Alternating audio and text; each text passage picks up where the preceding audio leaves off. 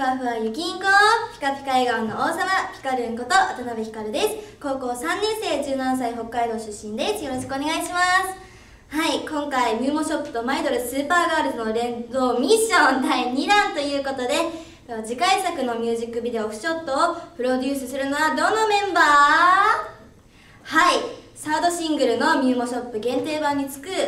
ミュージックビデオのオフショットなんですけれどももし私渡辺ひかるが第1位になりましたらカメラ目線の各メンバーの超絶可愛い萌えキュンの告白のショットをちょっと撮りたいなと思います。各地方のこう方言とかの告白が告白が聞けたりとかちょっとドキドキな感じになると思いますので